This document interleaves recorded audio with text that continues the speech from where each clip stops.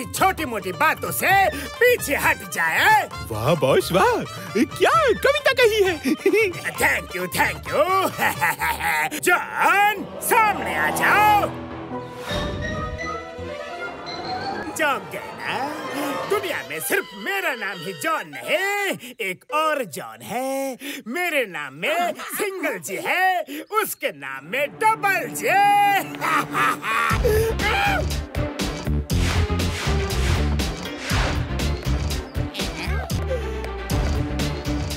मार छुटिया पापड़ वाले नो ये है डबल जे ये तो सचमुच डबल है यारी। कोई बात नहीं मोटू। समोसे खाओ और शुरू हो जाओ। समोसे वाले बैंक पर समोसे ले आओ। जल्दी।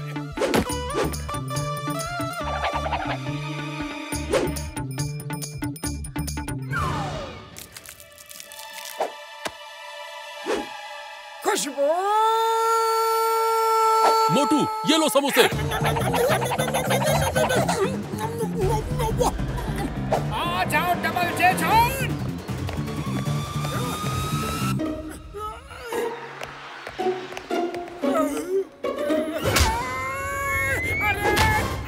मोटू उठो। उठो मोटू। अरे ये क्या हुआ? तुम समोसे खाकर भी उसको मार क्यों नहीं पाए? पता नहीं पतलू।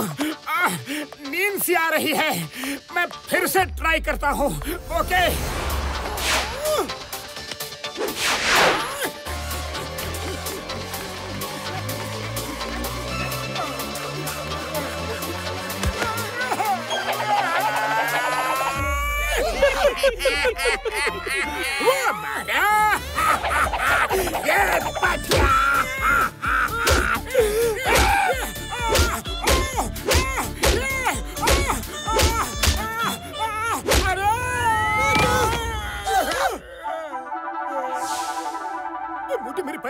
तुमने इतने सारे समोसे खाए, फिर भी तुम डबल जे जॉन को एक पंच भी नहीं मार पाए, यार।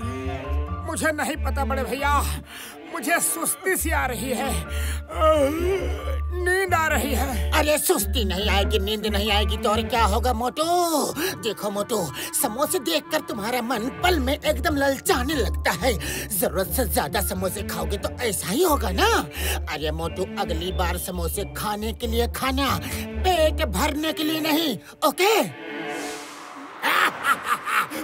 हेलो चिंगम सर मैं जॉन द डॉन बोल रहा हूँ। मैंने लोट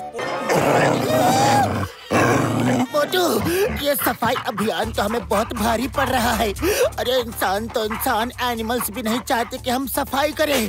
पतलो चाहे हमारी राह में कितने ही कांटे क्यों न बिछ जाए कोई साथ दे या ना दे हमें हिम्मत नहीं हारनी है और फुरफुरी नगर को स्वच्छ सुंदर बनाना ही है। हमें ठानना है ठान लिया है। कोशिश करने वालों की कभी हार नहीं होती। हाँ।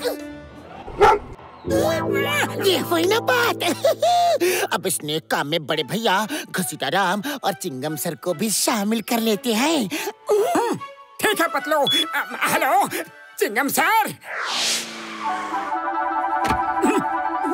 मोटू मेरे भाई मेरी यार ये देखो। तुम्हारे इस अभियान में साथ देने के लिए मैं अपनी कार से उड़कर आ गया हूँ यारी। थैंक यू बड़े भैया थैंक यू अब हमें ये सारा कचरा किसी बड़े डस्टबिन में डालना है। चलो शुरू हो जाओ। उड़ी बाबा! हमको इन डॉगीज का हाव भाव कुछ ठीक नहीं लग रहा है। उड़ी बाबा!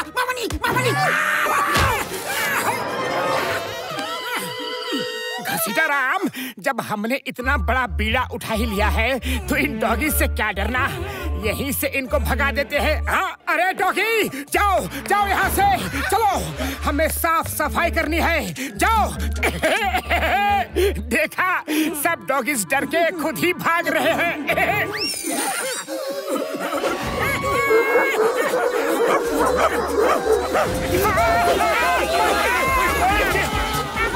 अब्बा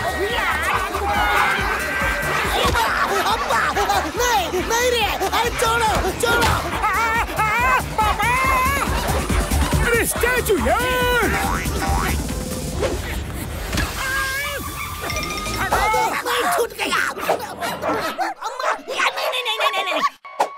वो देखो वहाँ पर तुम्हें कोई बुला रहा है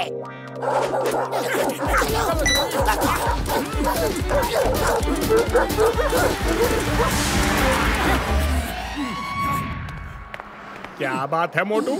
सुना है सुबह से तुमने सफ़ाई अभियान का मोर्चा निकाला हुआ है। अच्छा है फुरफुरी नगर साफ़ तो होना ही चाहिए। हाँ।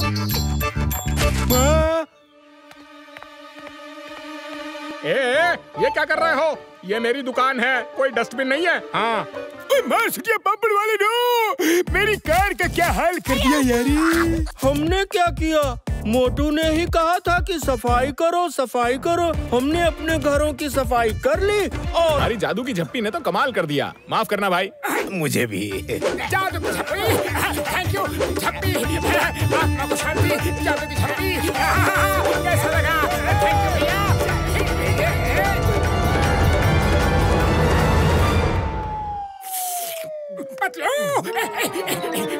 अरे मोटू बड़े खुश लग रहे हो। सुबह सुबह घर से बिना बताए कहाँ निकल गए थे हम्म? अरे पतलू मैंने आज कई लोगों को कई लोगों को जादू की झप्पी देकर खुश कर दिया। चाय वाले भैया देखो ना तुम बारह महीने गर्मी हो या सर्दी हो दिन हो या रात हो कितने लोगों को अपने हाथों से बढ़िया बढ़िया गरम गरम चाय नाश्ता करवाते हो? वो तो है। जादू की झप्पी तुम्हारे लिए बनती है ना? आ जाओ जादू की झप्पी ले लो आ जाओ। गला साफ़ गला दी बाता गला साफ़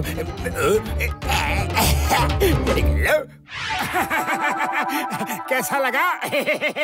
अब जल्दी से गर्मा गर्म समोसे खिला दो।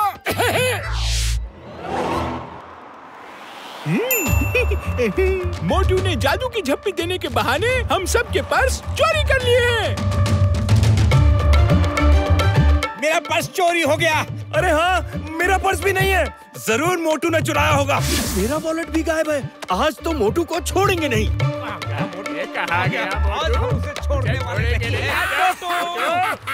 चलती हुई चिंगारी को हवा मिल गई है। अब तो ये आग दूर तक भड़केगी।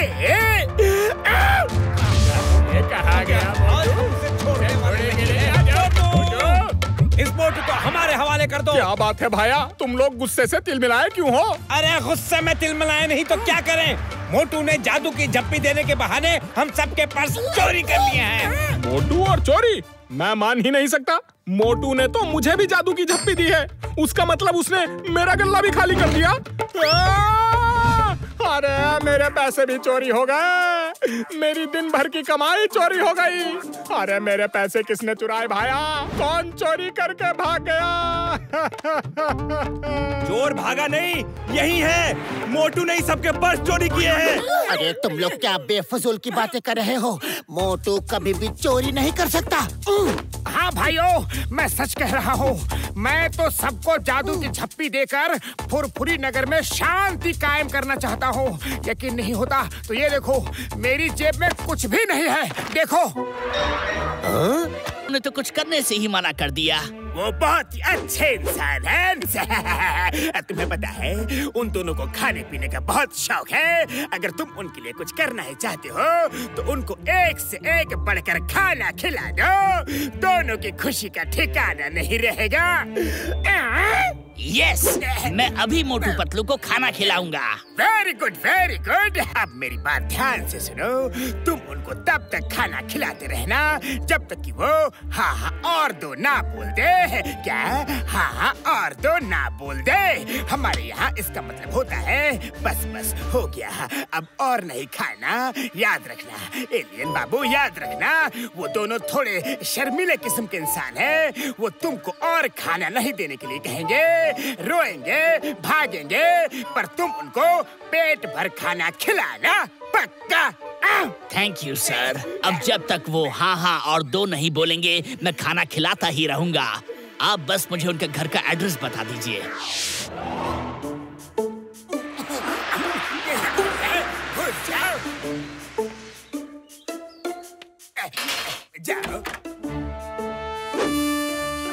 हेलो गुड मॉर्निंग तुम? अरे तुम्हें तो हमने घर जाने के लिए कहा था ना? हाँ? हाँ दोस्त मैं तो अपने घर जाने ही वाला था पर मेरा बड़ा मन हुआ कि आप दोनों को बढ़िया खाना खिलाऊं। आपको खाना खाने का बहुत शौक है ना? बढ़िया खाना। हाँ हाँ खाने का शौक तो है। झूठ क्यों बोलूँगा? है। तो फिर ये लो। ये भी। एलियन भैया खाना तो बड़ा ही लजीज लग रहा है पर प्लेट का साइज़ देखो और मेरा साइज़ देखो। हाँ। अरे मोटू वो अपने खुशी से जो खिला रहा है वो खा लो और उसे जाने दो।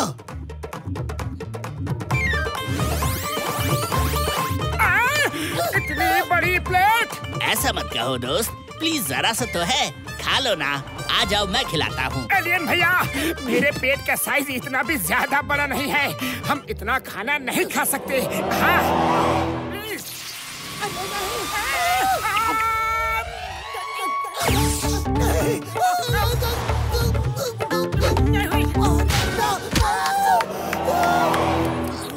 टेस्टी था ना? क्यों? टेस्टी था ना? अभी तो आपने मेरे प्लानिट की एक ही डिश खाई है। हमारे प्लानिट पर एक से एक लाजवाब डिशेस है। मैं आप दोनों को वो सब खिलाना चाहता हूँ। नहीं खा सकते नहीं खा सकते। अरे अरे घूरना बंद करो। पहले सब्सक्राइब करो।